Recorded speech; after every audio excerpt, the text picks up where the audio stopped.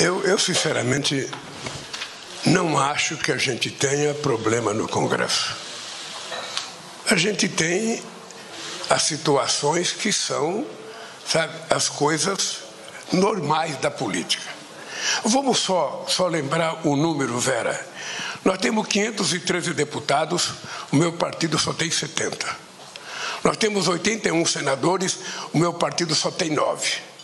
Se a gente somar os nossos aliados sabe, ideológicos, a gente vai para 12 ou 13. E a gente não chega sequer a 140 deputados.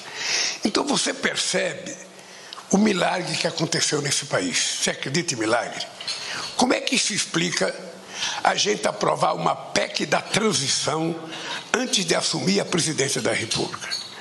Vocês se deram conta da anomalia que eu comecei a governar antes de tomar posse. Que nós tivemos que negociar a PEC, sabe, da transição, que foi o que permitiu que a gente tivesse dinheiro para governar 2023. Isso deveria ter sido feito no, no, no orçamento do, do cidadão. Mas foi no meu que nós fizemos. Então veja que coisa interessante.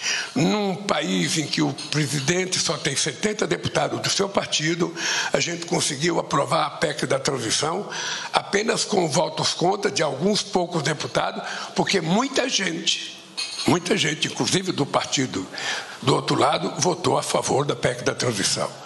Como é que se explica a gente ter feito e aprovado a reforma tributária?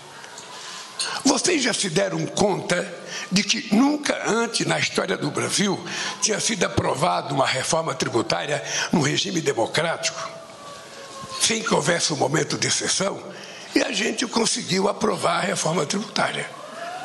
Ou seja, de todos os processos que o governo mandou para o Congresso Nacional, todos foram aprovados. Todos. Então, qual é a briga com o Congresso? Seja, a briga é o normal da divergência política no Congresso Nacional, que tem vários partidos políticos, que tem programa diferente, e a coisa é mais normal que quando você dê entrada com um projeto de lei, com uma medida provisória, tenha gente que queira incluir alguma coisa ou tirar alguma coisa. Mas isso é normal. Se você não gostar de fazer isso, não faça política. Então eu estou convencido de que nós estamos numa situação eu diria, de muita tranquilidade na relação com o Congresso Nacional.